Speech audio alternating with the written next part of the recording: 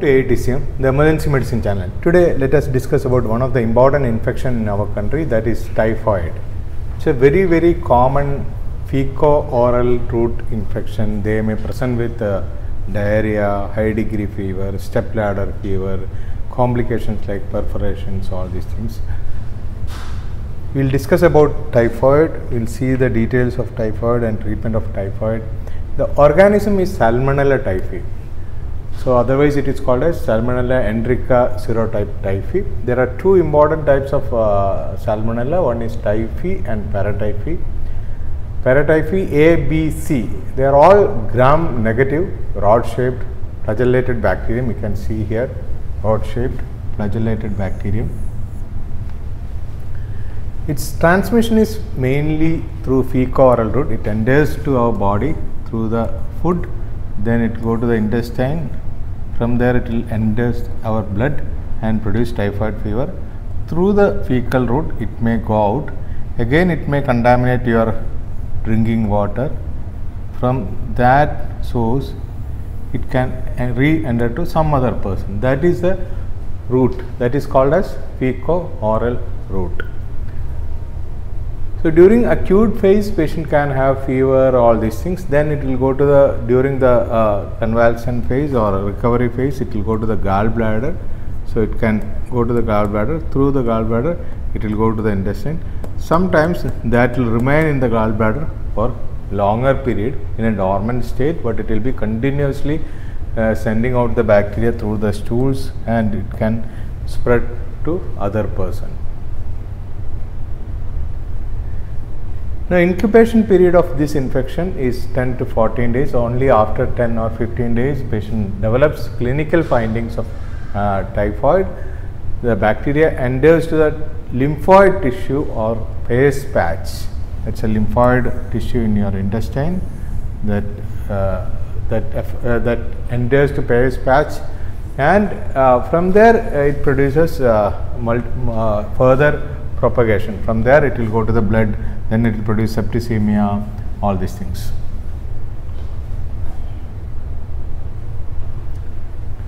So you can see here in this picture, it enters to your intestine, Peyer's patch, it will uh, colonize or it will grow in the Peyer's patch.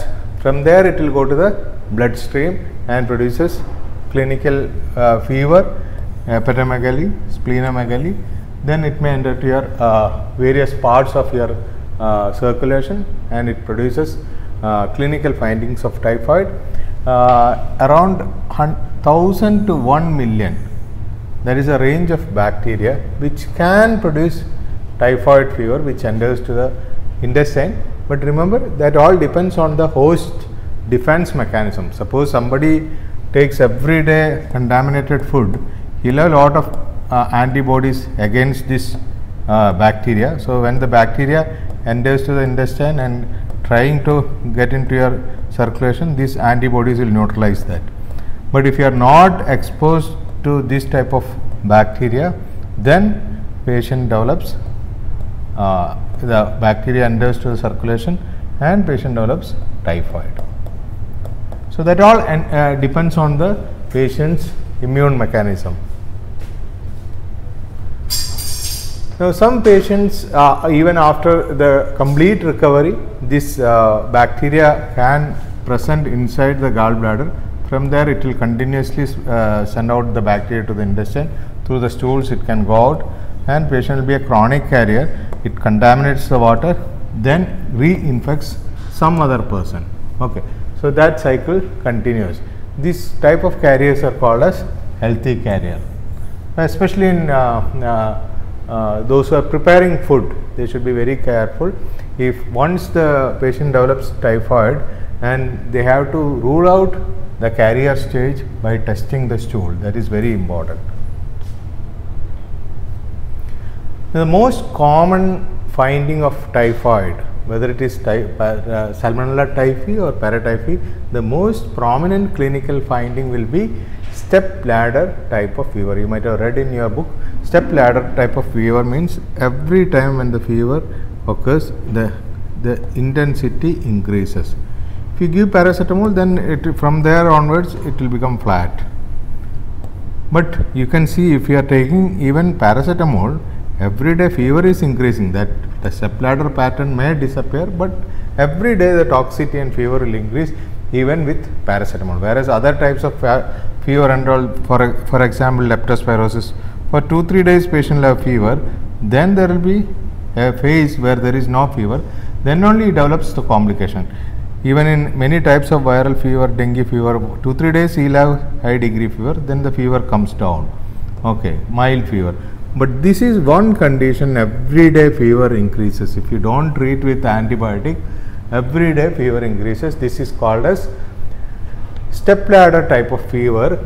But during the lysis, that uh, if you give paracetamol or after profuse setting, patient suddenly uh, have uh, de sudden decrease in the temperature. Okay.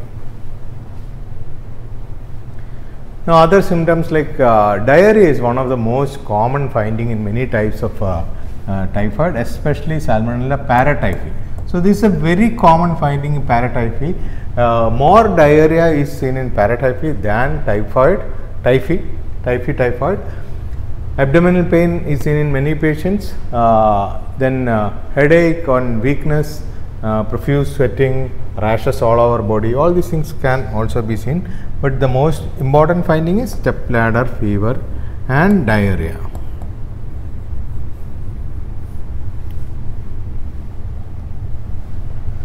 There are uh, uh, like lot of uh, fever in our country. We can see this type of rashes, uh, uh, rashes all over the body during the fever. Uh, but this type of rashes in typhoid is not very common in our population because of the color of the skin. We will not be able to see it properly. They may have, but most of the time we will not be seeing or will not be uh, observing that in a dark skin. That is a problem. But these spots are called as rose spots. Rose spots are slightly raised spots which fade on pressure. That is very important. Which located over the chest and trunk mostly seen in uh, mostly not seen in dark colored skin. That's why I told in our country this has got uh, lesser value comparing with a uh, western patient. It is seen only in 30 percent of the patients and it ap appears at the end of the first week and it resolves by uh, within 2 to 5 days. Most of the patients can have hepatosplenomegaly because they are also coming uh, uh, under the lymphatic uh, system. They try to kill the bacteria that's why the size is enlarged. Liver uh, so for example this is the liver this is the spleen. So both will be enlarged enlarged because any infection to kill the organism our lymphatic tissue has to work more so the size will be enlarged like lymph nodes will be enlarged liver will be enlarged spleen will be enlarged. In most of the infectious disease, you can see that. It's not only the feature of uh, typhoid, it, it is in, in many other types of fever. Now, another important finding in typhoid fever is relative bradycardia. You, you can see that any patient who is coming with high degree fever, you can see the heart rate increases. Heart rate may be more than 120, 130 like that in many types of high degree fever. But typhoid, temperature increases, but you are not seeing that proportionate that much proportionate elevation in the pulse rate. That is called as relative bradycardia. For every 1 degree Celsius of the temperature, you expect a uh, you expect additional uh, 10 beats in your pulse. But that is not seen in typhoid. There are a lot of other conditions also you can see like this, like patient who is on beta blocker, you may not see it Patients are, are, are having dengue fever, you may not see that. Patients uh, who have some myocardial problem uh, because of the fever, sometimes you can get unexpected tachycardia, sometimes you can get bradycardia. But this is the most important condition in our country which can produce relative bradycardia that is typhoid. Nervous system, there is a condition called as muttering delirium, coma vigil or nervous fever, patient has altered sensorium and picking at the bed clothes. That is very, very important finding. They pick up the imaginary objects from the bed sheet. So, this is very important finding in any type of typhoid fever or typhoid encephalopathy. And you can see a phase like here that is called as typhoid facies. It's a thin flushed phase with staring apathetic expression but these type of findings can be seen in many other types of uh, fever not only in typhoid Another important finding in the oral cavity is the coating of the tongue. you can see many patients with typhoid, uh, this is the tongue and uh, throughout the tongue white coating will be there. So, that is a very classical finding in typhoid fever. So, relative bradycardia, coating of tongue, all these things are very very important in typhoid finding. And if you do not treat the patient in third week, patient can develop inflammation of Peyer's patch and patient can have perforations in the intestine and one of the classical findings of perforation is uh, gas under the diaphragm. You can see here gas under the diaphragm. So, normally when you see the diaphragm there is no gas here, but left side most of the time you can see the gas in the abdomen or in the stomach. But here in this patient you are seeing the gas under the diaphragm. That is a classical finding where you get perforation. So, perforations are due to the inflammation of Peyer's patch that is a classical finding seen in um, typhoid and a patient who is having peritonitis and perforation normally the pulse rate increases. This is one condition where the pulse rate increases in typhoid. Other complications like patient can have carditis, hepatitis, meningitis, nephritis, pneumonia, orchitis, arthritis, osteomyelitis. Many of these features you can see in most of our patients.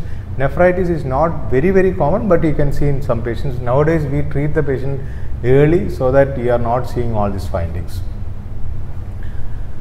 Pneumonia is very important. Many of the patients who present with uh, pneumonia type of features, febrile seizures are very common in children and 1 to 5 percent can become chronic carriers. We already explained that how the chronic carrier state occurs and that patient will be continuously spreading the disease and nearly 10 percent can have relapse in the symptoms. So, we have to be uh, very careful, we have to closely watch these patients. So, this is the slide which tell you that what happens in typhoid, this is a fecal-oral uh, route of transmission. Uh, there is an incubation period of uh, 1 to 2 weeks, uh, it adheres the uh, intestinal mucosa especially in Peyer's patch, the, the Peyer's patches are inflamed from there it will go to the mesenteric nodes, mesenteric nodes to reticuloendothelial system, then bloodstream that there it produces septicemia, it also infects the bone marrow, liver, spleen, gallbladder and gallbladder will become a chronic focus for the chronic carrier state. And complications like we have already seen that muttering delirium that is toxic encephalopathy, myocarditis, hemodynamic shock, necrosis of the Peyer's patch produces peritonitis and sepsis, uh, perforation, all these things. Now, what investigation you do in typhoid? Most of the bacterial infection, you can see the CBC, complete blood count, you can see elevated WBC count. But one bacterial infection that reduces the WBC count or WBC count may be normal that is typhoid. Okay. So, when you are seeing a patient in your OPD and if the counts are not elevated, it can be either viral or if it is bacterial, if you are suspecting bacteria, there is a high chance for typhoid fever. So, that is very important. Neutropenia can be seen in 10 to 15, sorry 15 to 25 percent and uh, uh, peritonitis can increase the count. So, third week of the infection slowly the count increases that indicates uh, an complication of typhoid. SGOT, SGPT can be elevated in hundreds, maybe 200, 300, that is a range we see routinely. Proteinuria is seen in many patients, but uh, most of the fevers itself can produce proteinuria. Febrile proteinuria is a very common finding in many patients. So, proteinuria does not have major clinical implication blood culture positivity is very very important because first week you will be able to see only blood culture positivity in typhoid 90 percent of the patients can have positive blood culture in first week 50 percent can be positive in second week Bone marrow culture can be done in uh, pyrexia of unknown origin if you think it is due to uh, typhoid. Stool culture third week you can do that is 30 to 40 percent patients can have stool culture. Even suspected chronic carriers or tho- those who are working in food industry they should do the stool culture to rule out uh, chronic carrier state. Another important investigation is Widal test. Widal test is it detects uh, sulfur uh, to uh, antibodies against uh, typhoid antigens, both flagellar or O antigen uh, antibody, somatic or H antigens antibodies can be detected. The O titer is more important than H titer. O titer 1 in 160 there is active inflammation or active infection going or a rapidly rising. So, today I am testing it is 1 in 1 in 80. So, tomorrow it is or 2 days 1 in 160 then 1 in 320 like that if it is increasing rapidly rising titer is more important than single titer. So, fourfold rise in uh, repeated test after 7 days it confirms the diagnosis. So, that is also very important. H titer is not very important because it is an anamnestic reaction many other infections can produce H titer previous infection can uh, increase the H titer. So, remember O titer is more important than H titer that is all enough. ELISA test is available you can do IgM uh, test uh, in the early phases of the infection not in the first week. First week uh, these antibodies will be will be negative. You can do all these things after 5 to 7 days. Now how do you treat the uh, typhoid? That is very important. Previously we used to treat uh, with ciprofloxacin or any quinolone ciprofloxacin ofloxacin all these things. Nowadays we know that most of the typhoid bacteria are resistant to quinolone so you have to go for a third generation cephalosporin. So, third generation cephalosporin IV available are ceftriaxone or cefotaxime. You have to give uh, three, 2 to 3 gram IV OD for 10 days or you can go for oral uh, tablet cefixime 400 milligram BD. Cefotaxime is an alternative for ceftriaxone same action. Chloramphenicol was used nowad- uh, previously nowadays uh, previously it was withdrawn because of the resistance. Now since we are not using this drug for many years this also can be useful.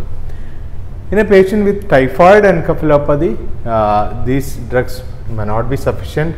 There you have to give dexamethasone. Routine typhoid we don't you prefer dexamethasone because of the fear of uh, intestinal perforation. But if we are treating a typhoid encephalopathy you have to give uh, steroids very high dose of steroids are required. Like 3 milligram per kg uh, uh, steroid like dexamethasone. So 70 kg means you require very high dose. 3 mg per kg for 70 kg patients will be 210 uh, milligram uh, 210 milligram of dexamethasone. That's a very high dose. So or you can go for methylprednisolone now, how to prevent typhoid that is also very important. Uh, improve the sanitation, avoid contamination of food or water. Try to treat the carrier patient, carrier state with ciprofloxacin 500 milligram BD for six weeks. So, you have to uh, if the patient is in food in industry, have, we have to be very careful. We have to treat this type of patients with ciprofloxacin for six weeks or repeatedly test their stools, culture their stools for any positive organism. Otherwise just treat them for 6 weeks with ciprofloxacin to avoid the reinfection to some other person. Vaccines are available. Nowadays uh, we can use vaccines to prevent typhoid. Those who are uh, working in food industry or those who are going to endemic areas vaccines can be useful. So that will give protection against typhoid. Even one infection can so like uh, infection in a year can also protect but we uh, generally not don't prefer infection related immunity. We can go for vaccine related immunity. So once you take vaccine that can protect you against uh, virus and uh, it may protect you for nearly 2 years. So vaccine should be tried and we have discussed about one of the important uh, problem in emergency room that is uh, uh, typhoid fever. It is very very common. Patient with high degree temperature, increasing in temperature in spite of giving high dose of paracetamol, uh, step ladder type of fever, fever with diarrhea, fever with relative bradycardia, coated tongue with relative bradycardia and fever. All these things point towards typhoid. If the counts are normal, then your diagnosis is mostly typhoid. You can do blood culture in first week. You can do uh, Widal test or uh, uh, antibody test in second week. Stool culture can be do, done in third week. Ciprofloxacin or any other quinolones are not the drug of choice nowadays because most of the typhoid bacteria are resistant to quinolones. We have to go for third generation cephalosporin.